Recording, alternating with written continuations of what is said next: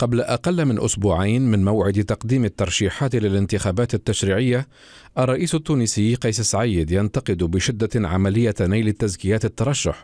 الرئيس سعيد خرج في تصريحات أمام رئيسة الحكومة ليطالب بتعديل مرسوم الانتخابات لمواجهة هذه المخالفات كما دعا إلى تطبيق القانون على الجميع على قدم المساواة ووضع حد لهذه الظاهرة المتعلقة بالمال الفاسد التي باتت سوقا تباع فيها الذمم وتشترى حسب تعبيره الرئيس التونسي أشار أيضا إلى أن هدف من تم إيقافهم وإحالتهم على القضاء هو إدخال الارتباك في صفوف المواطنين وبث الفوضى.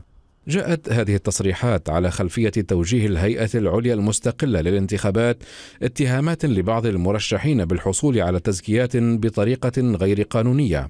وفتحت النيابة العامة تحقيقات بشأن تلك التجاوزات التي من أبرزها استعمال بعض الراغبين في الترشح وسائل التواصل الاجتماعي لأغراض انتخابية إلى جانب تقديم البعض هدايا أو عطايا نقدية للتأثير على الناخب حيث يجرم قانون الانتخابات ذلك ويتعارض مع مبدأ النزاهة.